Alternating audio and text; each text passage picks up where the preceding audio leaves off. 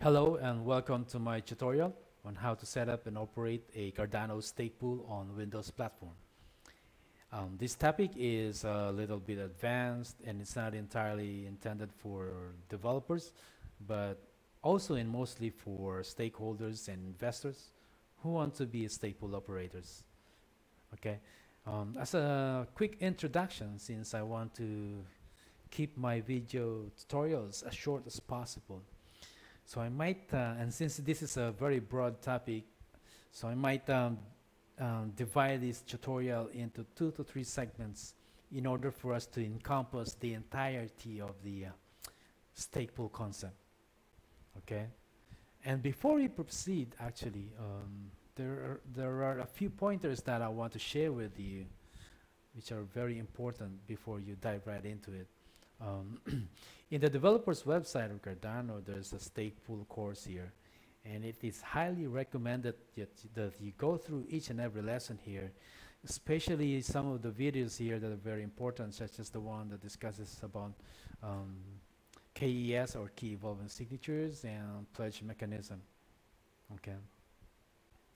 And then another thing that you need to to know before you start is that when to set up a stake pool, you will be needing at least a couple of nodes or machines, and one of which is the block producing node, and the other one is the relay node. So the block producing node, uh, this is where all the things, the important and secure things that are happening, and this is this uh, block producing node can only communicate with your relay node, and your re relay node is the one that communicates with all the rest of the stake pool operators. Okay.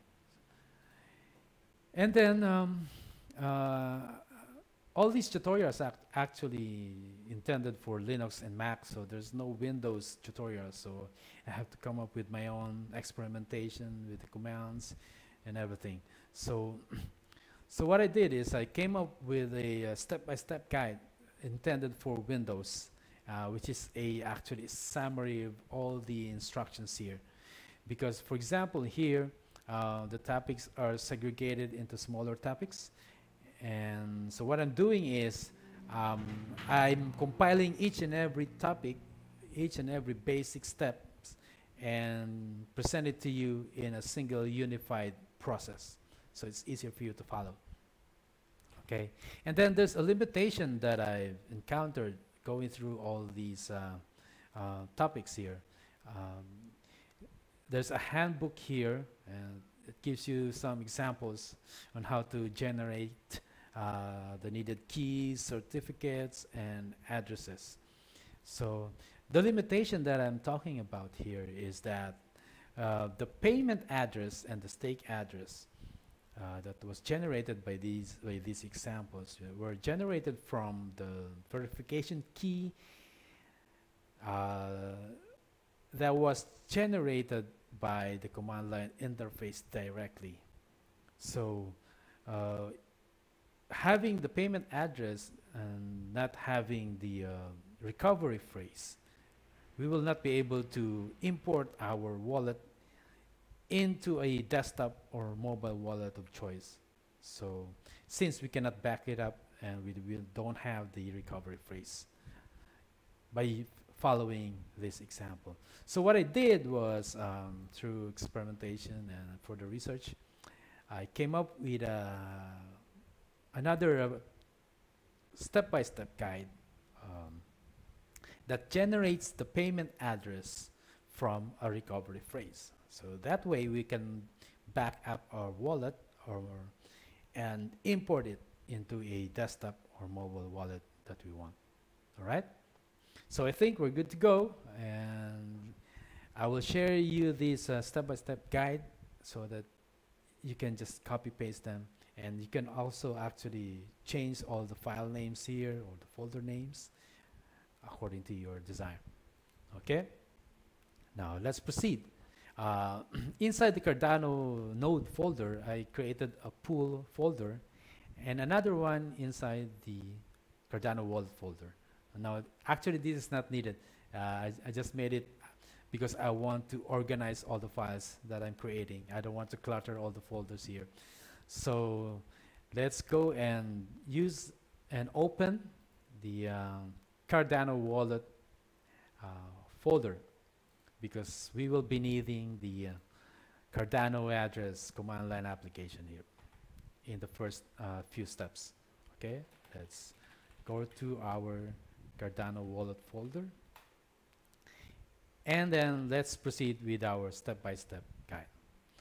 The first step is actually to simply generate a recovery phrase because that is what we will need to back it up. And then we are instructing the Cardano address command line application to uh, generate a recovery phrase and save it into a file inside the pool folder. Okay, so let's press enter and uh, that's done. We now have a recovery phrase saved here. Okay. The next step is now to generate an extended private key out of the recovery phrase that we just generated. That's two. That's that's done. So it's saved inside the extended private key file. Okay. Now the next step is to get the public counterpart of that private key.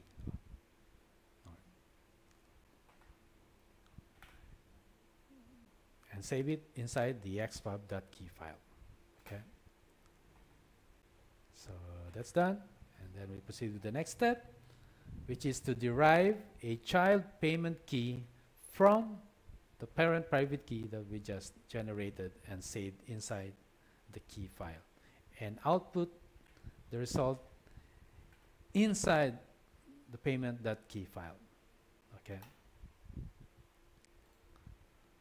Okay, that's done. And then we proceed with the next step. Fifth step is to derive, this time, a child stake key from the parent private key and save it inside the stake.key file. Here it is. Okay, so ba basically done with the um, Cardano wallet command line application. Now we are going to pr proceed with the next step using Cardano CLI.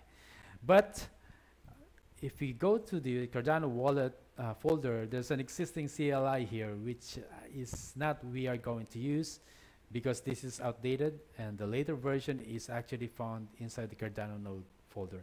So this is the one we will be using.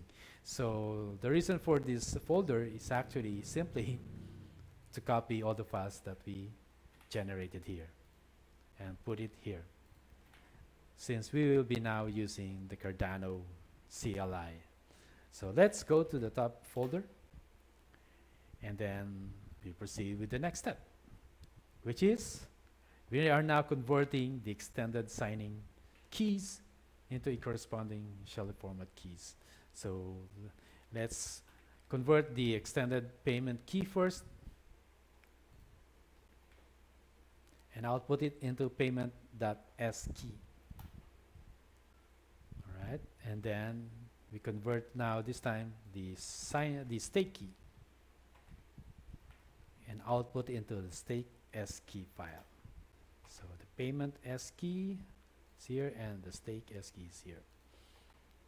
All right, so the next step is to get an extended verification key from the payment signing key and the stake signing key. So this is where uh, we are jumping now into the instructions that uh, presented here on the Cardano developers website. Okay, so this is actually a shortcut version and we just went through a different route uh, because we needed our um, recovery phrase. So let's proceed to the next step. We generate a verification key from the payment key. So the V key is now here. And now we go to the, uh, we now get the extended verification key from the stake signing key. So save it to xstake v file. So here it is. Here are the two files that we just generated. The next step now is to get a non-extended verification key from the extended payment and stake verification keys. So we're, simply just getting the non-extended version one. Okay, and save it to payment v key, and the other one, save it to the stake v key file.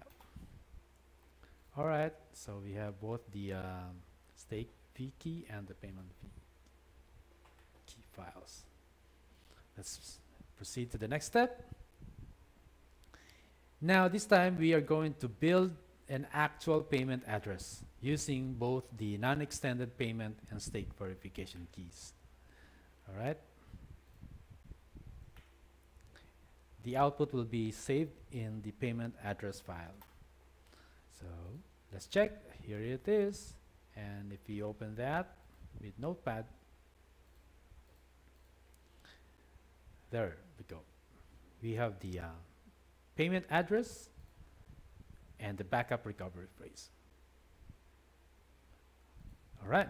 So the next step is now to generate a stake address and a registration certificate. Before you can register a stake address into the blockchain, you need a registration certificate. And that means we are going to access the blockchain, create a transaction, and pay a certain fee. So before we go into that, let's uh, generate a stake address first. And save it into a stake.address file. Here it is. And then now we generate a stake certificate so we can register it on the blockchain. And it's saved inside the stake certificate. So we will discuss that later in the next tutorial. For now, we'll just generate everything that we need. All right, so this is a more advanced uh, key generation procedure now. So we're going to, before we uh, proceed, uh, it is highly recommended that when you generate cold keys and cold counter, it is recommended that you don't store this in any machine that has internet connection. So it's better to save this somewhere that is disconnected. It may be in a separate hard drive, but never on your nodes or your production machines. Okay? So let's proceed. Let's generate a cold key and the cold counter which will be needed when we register our stake pool to the blockchain. So now we have both the cold key and the cold counter. Okay. The next step is the um, VRF keys. Okay. So we will discuss that later on. What are those keys for? Uh, but they are found actually on the Cardano developers website. Okay.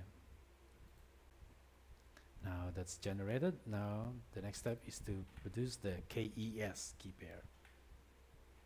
Okay.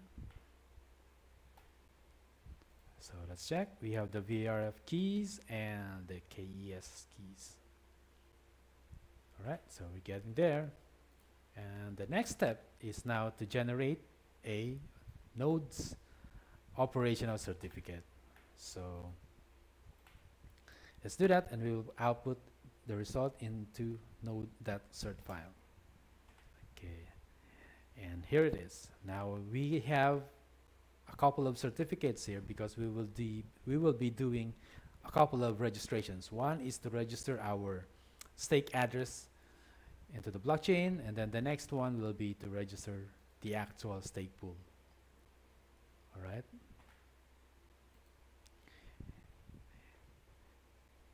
Um, those topics will be discussed in our next tutorial. Okay.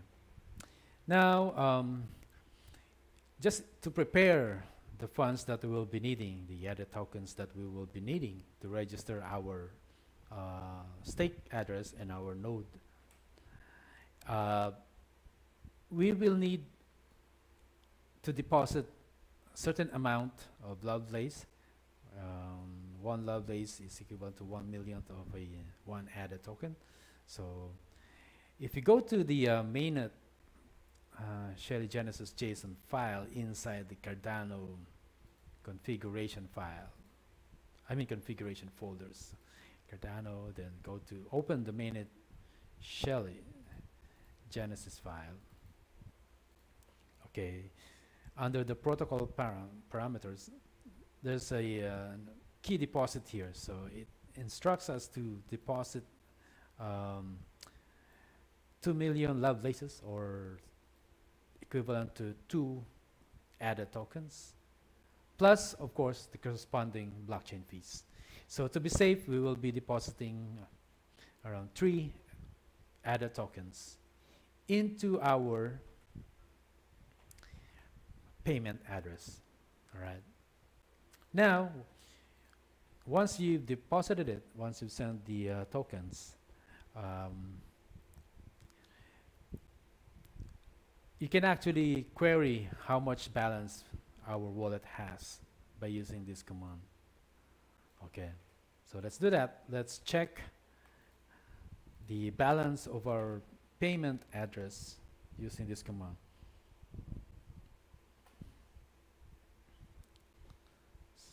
So it has scored the uh, blockchain and found no transactions yet.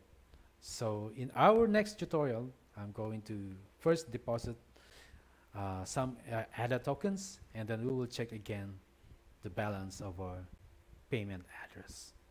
All right, so this wrap up this wraps up our um, initial segment of our tutorial. And the next tutorial which is a continuation of this one we will now transact or um, submit our certificates and register our stake address in our stake pool into the blockchain. Okay, stay tuned and thank you for watching.